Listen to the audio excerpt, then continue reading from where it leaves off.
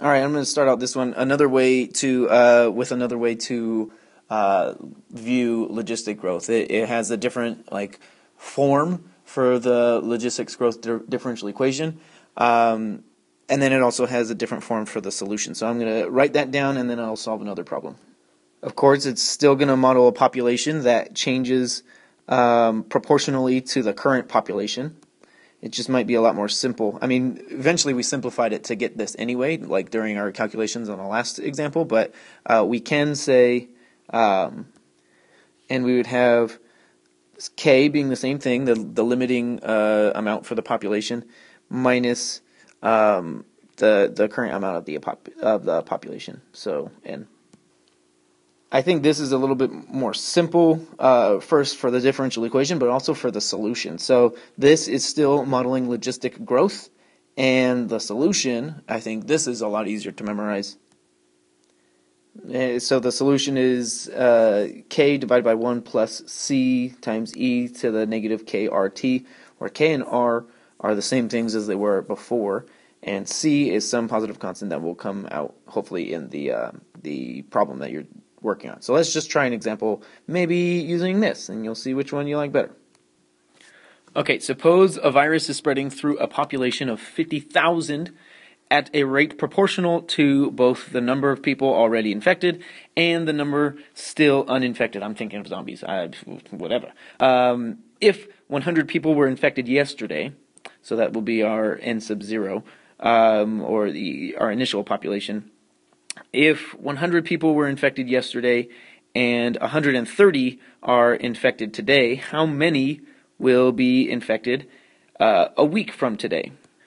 So this is talking about um, the the rate at which uh, a virus spreads. So it's not modeling the population; it's modeling the virus. So the differential equation dn uh, dt that's the rate at which the the infection spreads. So that's going to be uh, R, right? Some rate at a rate proportional to the population of uh, infected people. N is the number of infected people. Remember the the rate. This is the rate of change of infected people. So N is the the number of infected people. And then the limiting factor, you can't infect more than 50,000 people because that's the maximum number of people. So this would be, uh, according to this, 50,000 uh, minus n. So k is 50,000. 50,000 minus n. So that is our differential equation, and we're given we're given some stuff. Well, with all of this, we can write out our solution using what we had before. We don't have to go through all the steps to solve it. Uh, we'll have n of t, which is the the number of infected people, um, and that's uh, k was fifty thousand, so fifty thousand divided by one plus one plus c times so some constant c times e to the negative fifty thousand um, times r, some rate, we don't know that yet, times t. So we'll leave it like that. Uh, but I also know that n sub 0, if 100 people were infected yesterday, we're considering yesterday to be n sub 0. So n of 0 is the same thing as 100, right? That's what it said.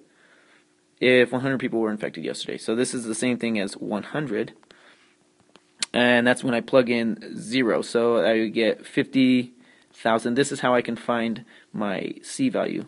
Because if I plug in T being 0, then this is just 1 plus uh, C, and I can solve for C. So hopefully you can pause it and solve for C. I'm going to do that right now. So I just switch those two, and then C is 499. So now I have a closer, I need, I still need R, but I have something where I can find R. Um, so yesterday was uh, N sub 0.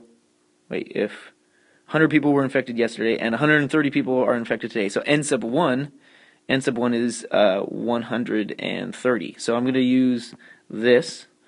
Let's get, make ourselves some room. N of T equals 50,000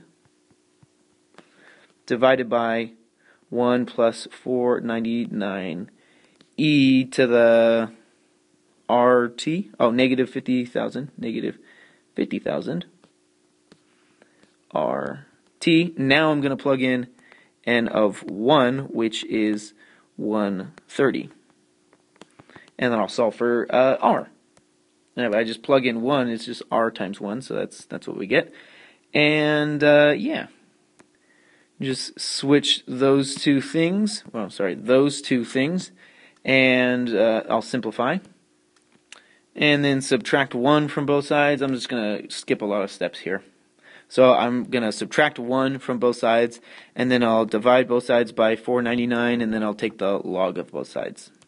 And so I uh, subtracted 1, that gave me um, this part, and then I divided by 499, so it's like multiplying by 499 on the bottom. Take the natural log of both sides, and then I have all of this stuff.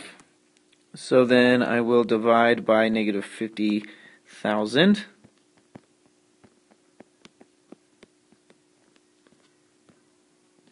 And uh, so that was that's R. And now I finally, whew, I'm gonna like probably skip a bunch of steps, but this, all of that junk is R. I mean, this one's a little bit more complicated than before, but um, it says how many will be infected a week from today. So we just got to figure out what uh, T is. And in this case, T I think is going to be 7 because yesterday was 0, today is 1, and then a week, oh, maybe T is 8 yeah, so I'm going to skip a bunch of steps because this video is getting long and the other video was long, so I want to skip stuff. But at the very, very end, hopefully you can try and do this. Um, it's approximately 798 people. So sorry that that was kind of rushed at the end, but I need to do some stuff. So we're done.